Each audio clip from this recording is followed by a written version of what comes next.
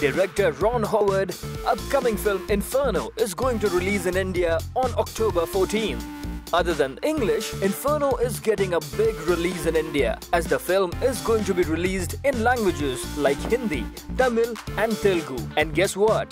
Baahubali star Rana Daggubati has lent his voice for Tom Hanks in the Telugu version of Inferno. Rana, who has been busy shooting round the clock for Baahubali 2 in Hyderabad, saw a special cut of the film and immediately agreed to dub for the film. But that's not all. Apparently, Rana had to work hard and make time for the film. He dubbed for Tom Hanks' part over three days. Post backup at Ramoji Rao Studios. Interestingly, Rana says he has enjoyed all of the Dan Brown's books and he is really excited for Inferno.